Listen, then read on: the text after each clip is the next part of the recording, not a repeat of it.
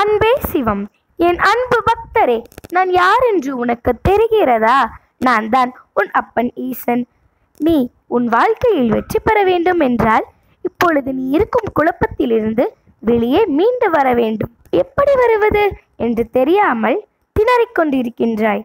அப்பா நான் எப்படி வருவது என்று நீ என்னிடம் கேட்டால் அதற்கு என்னிடம் ஒரு பதில் இருக்கின்றது.